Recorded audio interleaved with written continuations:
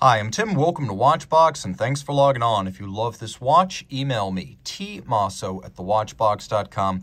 It's in the description below. It is your purchase and pricing email question line for buying this or any watch you see on any Watchbox platform. Please reach out to me directly. Email tmosso at thewatchbox.com for pricing.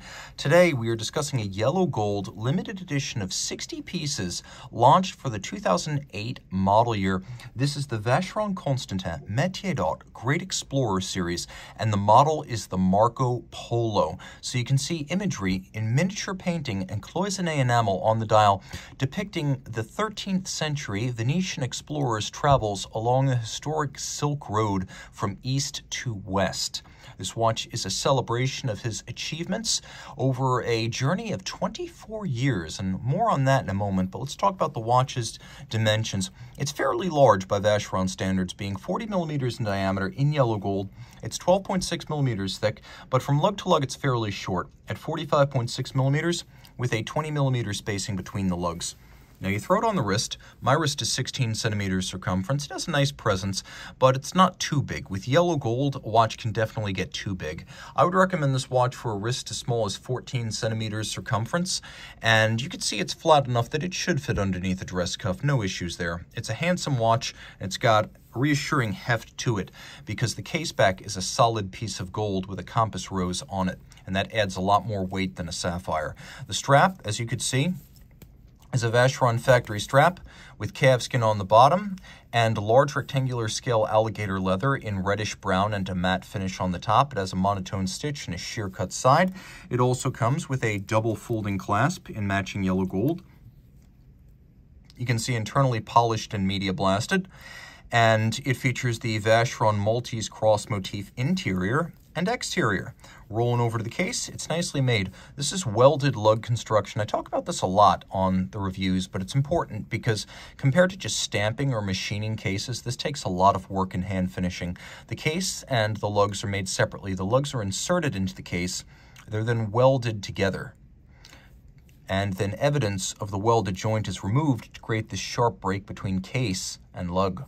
The case is of high polish. You can see it has a rounded profile. The lugs are narrow when viewed end-on and fluted in profile. They extend up over the bezel, which is elegant and attractive. And then you can see that the bezel itself is conical with a bit of a step inboard of the rounded case flank and a flange adjacent to the sapphire.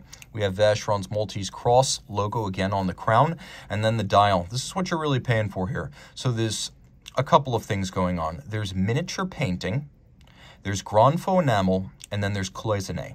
So the image of the trip from the west to the east includes terrain, it includes figures, it includes a compass rose, it includes different colors and shades, and this is achieved by painting a solid gold base with vitreous enamel, a glass-based paint, firing it at up to 20 times at 800 degrees Celsius. These little golden borders are creating created using cloisons, or little gold wires that create the boundaries of the landmass, and then miniature painting is combined with enameling to create the landmasses, the figures, the terrain, and the buildings seen. You could see that the cloisonné continues down onto the subdial, which is its own piece of handcrafted enamel. And what really sets this apart is that it is both miniature painted cloisonné enamel and a satellite hours display. So you can see right now it's 9.30. That's how that works. Now it is 1010, beloved of watch photographers. It's a digital scale, it's wandering hours, it works exactly like an Audemars Piguet star wheel. It is exactly the same thing, drawn from the same historical traditions. So it is a digital time scale, and you can see how the numerals float above that lower enamel dial. Now you can also see in Latin at the base of the dial, I'll translate it loosely, a mer you know, okay, first his name, Marco Polo, a, a merchant and explorer, traveled throughout the East and brought back stories from a journey of 24 years. And that is the basis for this watch, that journey of two and a half decades. Now you turn it over and you'll note that there is no visible movement, but it's a good one. It's a JLC 899 base automatic winding with a 38 hour power reserve. It does have stop seconds, even though there is no seconds hand.